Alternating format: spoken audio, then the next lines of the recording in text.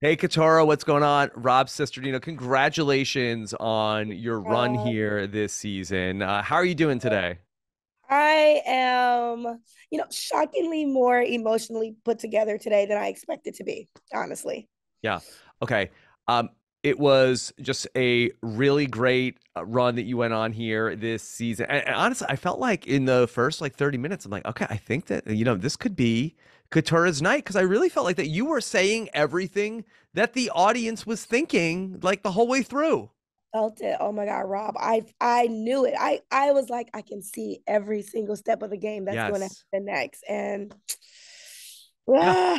Ah. Yeah, I think that that's uh, one of the things that was so fun about you is I feel like that you were saying a lot of the things that people at home were thinking, and especially when it's like hey, you're going to let these two go to the end, and you know you you turned uh, Jake around, and then you had so many great insights uh, all along the way. How were you able to sort of like see the game from that perspective?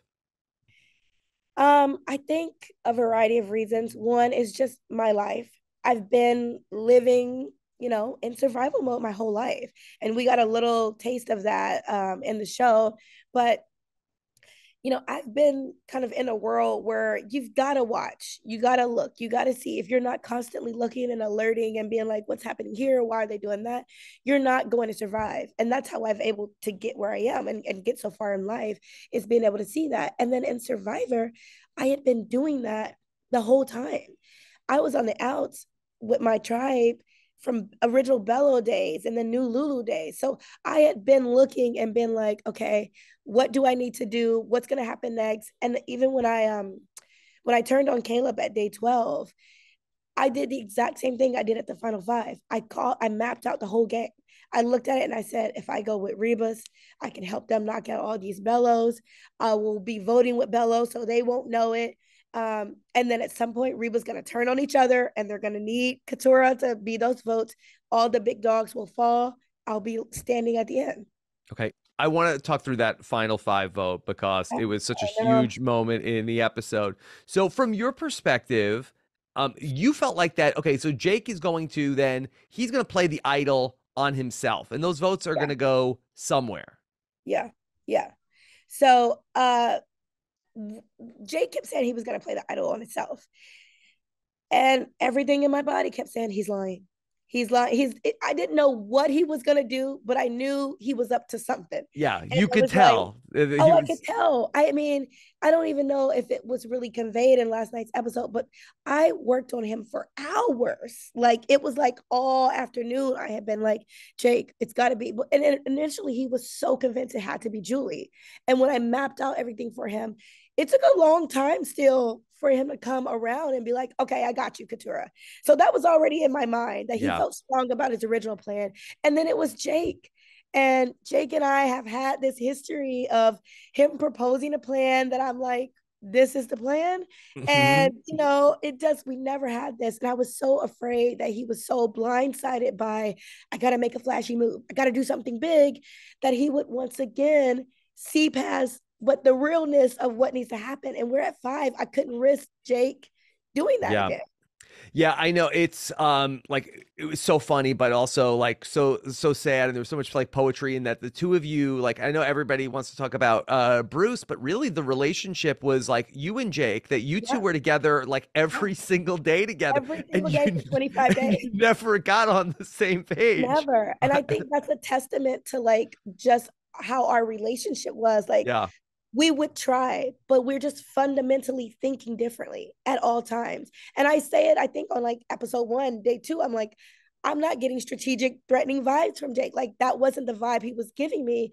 And it kept getting reiterated to me along the game to the point where it's final five everything in my body is saying alert alert jake's lying mm-hmm. he's going to do something and at this point i know Dee is for sure writing my name down because jake has told them that he has an idol which i'm also like why would mm-hmm. you let now that now everybody knows that the flashy move with the idol would be not telling them and then they vote for jake and then we cancel it so it was already like i am 100% sure i'm getting votes and at tribal uh Julie and Dee kind of spoke a little bit about, you know, sadness and I don't want to let somebody go or something.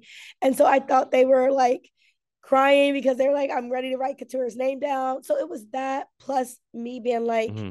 it's been 34 years, Rob, of me having to listen to my body.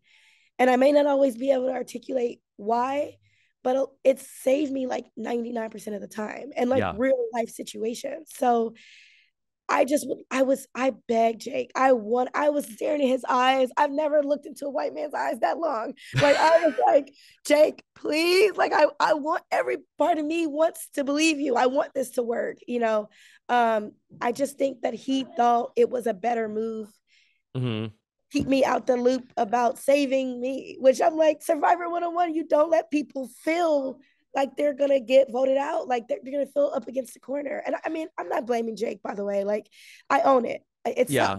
I, I deal with that every day. I'm like, you dropped the ball. Like you did this. I let fear take over.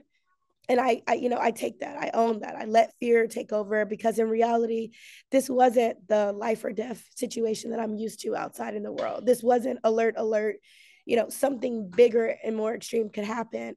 This was you might get voted out in Survivor. But in the moment, that was like the biggest thing. It was like, I'm so close. I'm not going to lose it for this. And Julie was the safe vote. What would happen if Dee got voted out at the final four? Oh, oh, oh! I would, I would walk. Are you the winner? Well, okay. so in my mind, if Dee, oh, if Dee gets voted out at four, I'm sorry, five, five. I'm sorry at five. Uh, Dee gets voted out at five. I was 100% sure that Austin and Julie would make fire because if Austin won immunity, he would be like, I need to make a flashy move and, you know, be Julie mm-hmm. fire, vice versa. In both of those situations, Jake and I are getting a free seat to the final tribal council. And my ideal final tribal council, based on how things were falling in the game, was sitting beside Jake and Austin. So yes. I felt very confident that Jake wouldn't get votes and that I would be like, I wasn't concerned about him taking votes from me. And with Austin, in my mind, at that point in the game, I viewed him as number four of the Reba four. So I was like, Dee and Drew are the strategic heads. They gotta go. No world I win sitting beside Dee or Drew. Mama Julie is Mama Julie, we got the deep emotional connection. She's got to go. People are going to be pulled to her. And I didn't feel like Austin had either strong strategic chops or that strong emotional pull. And I would be able to say, look, I get it. Austin had a great game, but I was in the damn trenches. I've been fighting yeah. since the beginning and like walk through how I called every single moment of the game. I saw every single thing happening. I called it. I made it happen. And like, I mean, I'm not gonna give you the full speech now, but let me just tell you the bullet points were damn good. We'd love to hear very, it sometime. Yeah, I felt very confident that if I didn't win, it would be like a narrow margin, and maybe I lost by yeah. you know one or two votes. And you were the one Belo, and Belo was like kind of a disaster, but you were the one Belo that said, "Look, look, I'm going with the Rebas." Okay, from the point that we had like that at the final twelve, where it was the split tribal council. That you know, how early on did you know, like, hey, like uh Belo, uh, this ain't it? Oh, day seven. day seven. I I can tell you exactly. That was the day I was like, you got to drop them as soon as you can. Like yeah.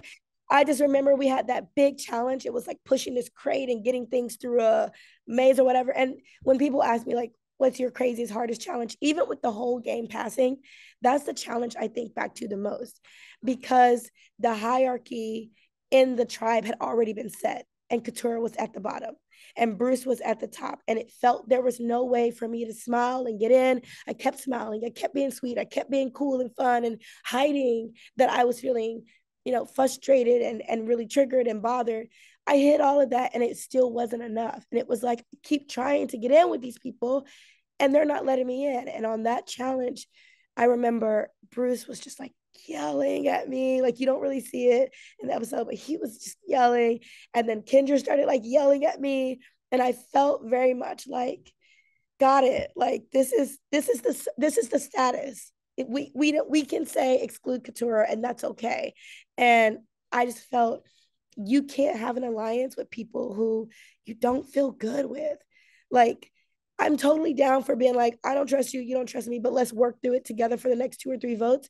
But if you're like comfortable excluding me constantly, repeatedly not including me on key information, and I'm feeling like crap, like I'm getting you know, the, mm-hmm. short end of the stick. I gotta go. And so I was I was like, as soon as there's a tribe swap, I'm I'm jumping ship. And then the tribe swap happened, and it was the exact same. Exact people. same, and yeah. Like, and then only difference was Kendra, who was my little bit of ray of light. Like I, yeah. I felt closest to Kendra, but I was feeling that she was starting to say, "I'm sorry, Katurah, like self preservation. I got to get on with the main group." And I told her, I, I'm not mad at that. Yeah. But if I lost Kendra, and I did, then it was like, oh no, now we're I'm just in Bruce land. Um, and Kelly's with Bruce and Jake's with Bruce, and they're like, they're not letting Bruce go, right? Rightfully so. Kelly make it makes sense for Kelly to stick with Bruce. It makes sense. I mean, Jake's just was infatuated with Bruce. So I was like, there's no me getting in this block. And then you add Caleb connecting to that block, getting the, being able to get in with the block better than me. Literally. Yeah. I was like, oh, you, I'm, mm, I'm, I'm, I'm ready. So it, I had been waiting for a long time, and then like at 12, it just slapped me in the face. You keep trying. You yeah. keep trying with these people, and it's not working. Uh, I'm loving hearing all this. Uh, I, I know, got the signal. Sorry, we got to wrap up. Let me, but, let me, okay, but uh, that so let me let you get to your other press here today. But would love to oh, hear sorry. more your perspective on all of this at some point down the road. Okay, Katurah. Bob, you know I got you. I have okay. so much to say. I'm so happy to hear you say that. Okay, all right. Talk to you soon. Okay. You. Bye. All right. Take care. Bye.